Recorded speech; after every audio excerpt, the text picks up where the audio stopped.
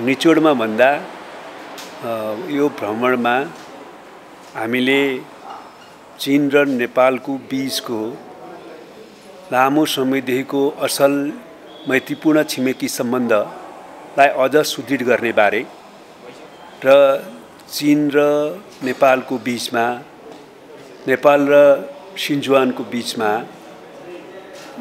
आपसी सम्बन्धलाई सुदृढ गर्नुको अतिरिक्त विकासका निम क्षेत्रमा व्यापारका क्षेत्रमा लगानीका क्षेत्रमा सम्भावनाहरूको बारेमा महत्त्वपूर्ण छलफलहरू भए ती छलफलहरू सकारात्मक भएका छन्। हामीले चिनले नेपालको सार्वसत्ता भौगोलिक अखण्डता र स्वाधीनताका लागि स्वाधीनताको पक्षमा सधैँ सम्मान गर्दै आएको छ र नेपालको विकास प्रक्रियामा पनि सधैँ एउटा विकास साझेदारको रूपमा सकारात्मक भूमिका खेल्दै आएको छ र नेपालमा सङ्कट पर्दा चाहे त्यो भूकम्पको बेलामा होस् चाहे कोभिड जस्तो महामारीको बेलामा होस् चिनले सधैँ महत्त्वपूर्ण सहयोग पुर्याउँदै आएको छ। त्यसको निम्ति हामीले हार्दिक आभार तथा धन्यवाद प्रकट गरेका छौँ र साथसाथै चिनले नेपाल अहिले आफ्नो राष्ट्रिय प्रमुख कार्यभारको रूपमा आर्थिक विकासलाई समृद्धिलाई केन्द्रबिन्दुमा राखेर त्यसको निम्ति अगाडि बढिरहेको बेलामा गतकालमा गर्दै आएको आर्थिक सहयोगलाई अझ वृद्धि गर्नका निम्ति विशेष अनुरोध पनि गरेका छौँ। र त्यसमा चिनको उप प्रधानमन्त्रीज्यूले पनि सिजुवान पार्टी प्रमुखले पनि सकारात्मक ढङ्गले सोचिने हामीलाई विश्वास दिलाउनु भएको छ।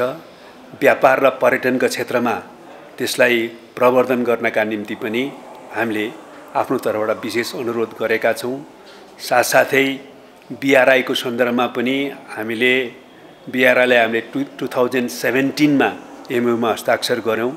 त्यसपछि यसको इम्प्लिमेन्टेसन प्लानलाई फाइनल गर्न हामी छलफल गरिराख्यौँ। दुई पक्षको बिचमा ड्राफ्ट अनु आदान प्रदान भएको छ। त्यसलाई अन्तिम रूप दिइसकेपछि हामीले बिआरआई प्रोजेक्टको बारेमा ठोस प्रोजेक्टहरू र मोडालिटीको बारेमा छलफल गरेर त्यसलाई टुङ्गो लगाउनेछौँ र बिआरआईबाट पनि हामी लाभान्वित हुन सक्ने आशा लिएका छौँ भन्ने कुरा हामीले भनेका छौँ र उहाँहरूले पनि यो बिआरआई को लाइको प्रोजेक्टहरूबाट तपाईँहरूले लाभ लिनको निम्ति के कस्तो तयारी गर्नुभएको छ भन्ने कुरामा उहाँहरूले जिज्ञासा राख्नुभएको थियो र त्यही सन्दर्भमा हामीले आफ्नो नीति र आफ्नो अहिलेको स्टेपको बारेमा प्रश्न गऱ्यौँ र त्यसबाहेक एउटा हामीले जुन इरिगेसन प्रोजेक्ट हेऱ्यौँ त्यो चाहिँ धेरै नै अत्यन्तै प्रेरणादायी खालको रहेछ। दुई सय छप्पन्न बिसीमा कुनै ड्याम बिना सिङ्गो चिन चेन्दु प्लेटलाई छेन्दुलाई प्लेटलाई सिन्चित गर्ने गरी त्यहाँ निर्माण गरिएको रहेछ। होइन? त्यो अचम्मकै हामीले उदाहरणीय चाहिँ सिँचाइ परियोजना लाग्यो। अब त्यस्तै गरी सिसवान एयरलाइन्ससँग पनि हाम्रो राम्रो कुराकानी भएको छ र मुख्यत छेन्दु काठमाडौँको उडानलाई सातै दिन हप्ताको सातै दिन नियमित उडान गर्न अनुरोध गरेका छौँ र त्यसमा उहाँहरूले सकारात्मक वचन दिनुभएको छ।